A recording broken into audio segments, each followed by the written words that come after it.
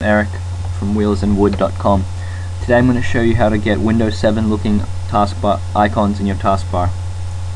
You can see how my icons are like this. They just show the program icon. Uh, this is going to be in Windows 7, but you can get it now in Windows XP and Windows Vista. So this is what you want to do. Start, run, and then type in reg edit, like so, your registry editor. Press enter. I'm going to go up to here and expand H key current user. Go down to control panel, expand that, and then expand desktop one more time. Then click on window metrics, right there.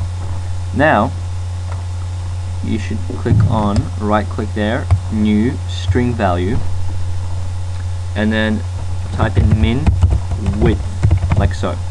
It's not going to let me create it because I've already got it created so it's going to give me an error but so there we go.